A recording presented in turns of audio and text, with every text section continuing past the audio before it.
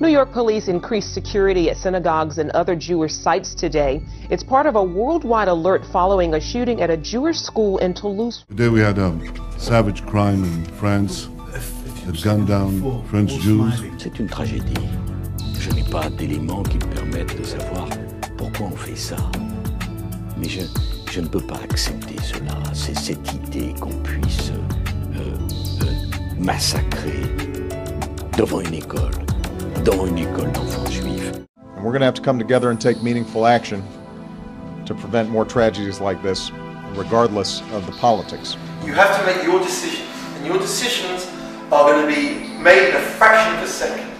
This type of training, all it does is it just gives you a little bit of a guide as to how you should be thinking. It doesn't give you the answers, I'm afraid, because every situation is different. How the guards work as a team.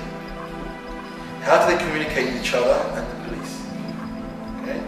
How do they protect the school and students? And how do they control the situation without letting it get out of hand? Lock down the school, which means, as you described, or you described properly, you take the kids, you shove them in, or you disperse them.